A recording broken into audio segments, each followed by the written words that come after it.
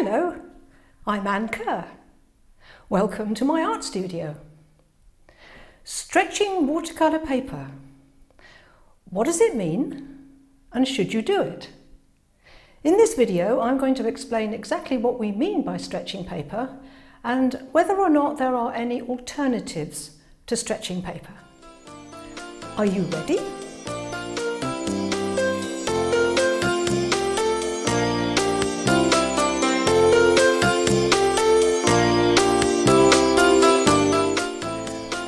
There's a lot of discussion about whether or not we should stretch our watercolour paper.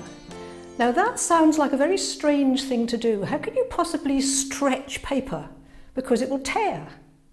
No, what they mean is when you stretch watercolour paper, you soak it in water for quite a few minutes, anything up to a quarter of an hour sometimes, and then you either glue it or pin it onto a board a bit like this. And then you leave it for hours to dry on its own, many hours to dry on its own. And when it's dry, it will be absolutely flat. Now, there are lots of videos on YouTube that show you exactly how to stretch watercolour paper in great detail. So I'm not going to do that here because there's lots of other ones that you can go and find. I'm going to tell you some alternatives to stretching watercolour paper and those are the methods that I use myself. Now if we look down at the desk, this piece of paper is dry and I've stuck it around the edges onto my board. Now I do see a lot of people doing this.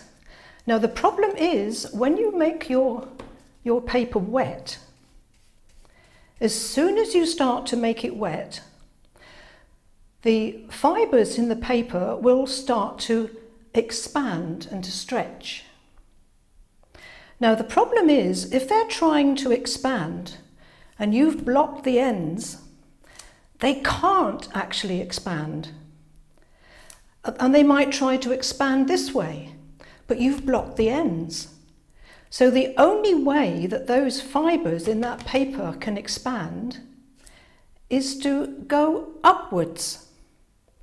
And that's why you end up with paper with little hills and valleys in it, buckling like that, because you've blocked the ends. So if your paper is dry, don't stick it down to a board like this because you will always get buckling. Now I'll show you what I do. Here's a board and a, a piece of paper on it. Now what I do is, this is a dry piece of 100% um, cotton paper, which by the way is the only sort of paper I ever use. I put my paper onto the board and I clip it around the edge with these big clips. You can buy these in the in the um, stationers, no problem at all. So I clip these on, and then when I start painting, and my paper starts to buckle a little bit, all I have to do is release the clips, flatten out my paper, and put my clips back on again.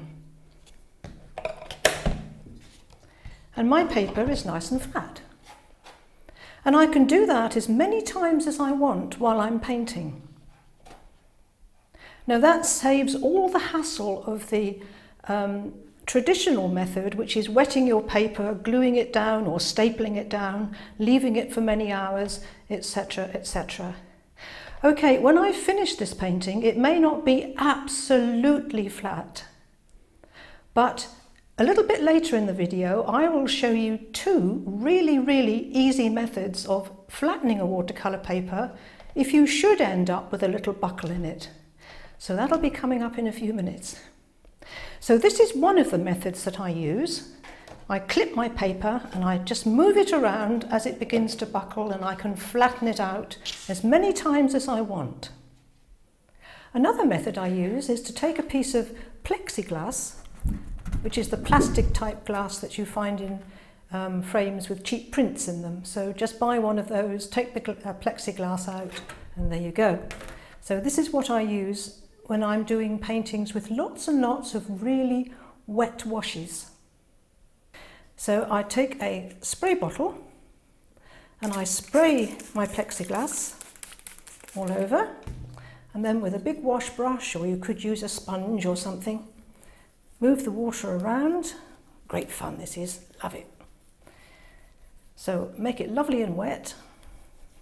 And then I take my watercolour paper and I put it straight down onto the wet onto the wet surface. And then I can take some more water and I can wet my paper all over.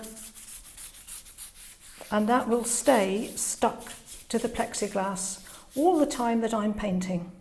It's got room to expand in both directions if it wants to. It's not going to wrinkle because it's got space to move around. There's nothing restricting it on the, on the sides. If I've got lots of water running around, I can just wipe it off easily with a cloth so that the water doesn't run back onto my painting. If it begins to dry out on the back, then I just lift it and I respray. Move the water around again and put my painting back. By the way, never put your hands straight onto your watercolour paper because your hands have oil on them. You may not be able to see the oil, but you can leave fingerprints behind. And then when you come to paint, those fingerprints might leave a little um, white patch in your painting where the oil has got deposited onto the paper. I said at the beginning that I would give you two different ideas of or two easy ways that you can flatten a painting if it does happen to end up with a few cockles or wrinkles in it. And this is how I do it. You take your finished painting and you find yourself a clean tea towel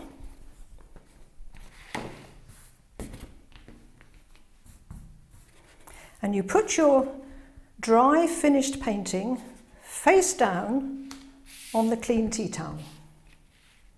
And then you take some water and you wet the back.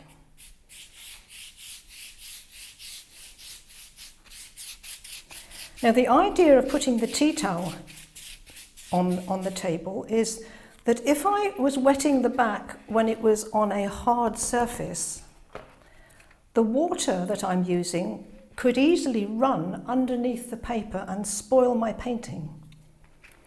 But if it's sitting on something that's absorbent, like a tea towel,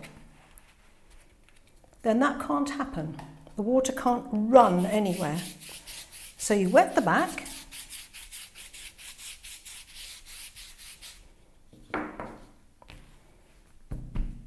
You put something really heavy on the top, so I could use my other board like that.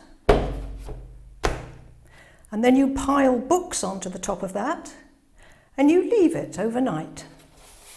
And when you come down in the morning, you take it off, you turn your painting over, and it'll be absolutely flat. Very, very easy way to do it. Another thing that you could do is you could take an old pillowcase, preferably a white one, put your painting inside the pillowcase, turn it over on its front, face down, take your iron, yes, your iron, and turn off the steam so it's a dry iron, the idea of putting it in the pillowcase is that it's protected on both sides, both the front and the back. So if you have any little bits of water or paint or anything around, then it can't get damaged. You could lay it on a tea towel if you wanted to, but a pillowcase works really well.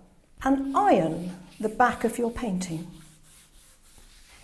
And, it, and then when you've finished ironing it, once again, put a heavy weight on it and let it cool down.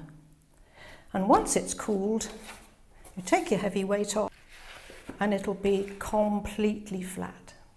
So you have to decide which way you want to go. Do you want to go the traditional way and stretch your paper by pinning it and taping it to the board and then coming back a few hours later and it'll be completely flat?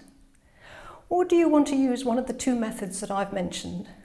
The dry method with the board and the clips or the wet method where I just wet the plexiglass and stick the paper to the plexiglass. So you choose. I hope this has been useful. If it has, please click that little subscribe button and the bell icon it'll let you know when I upload the next video.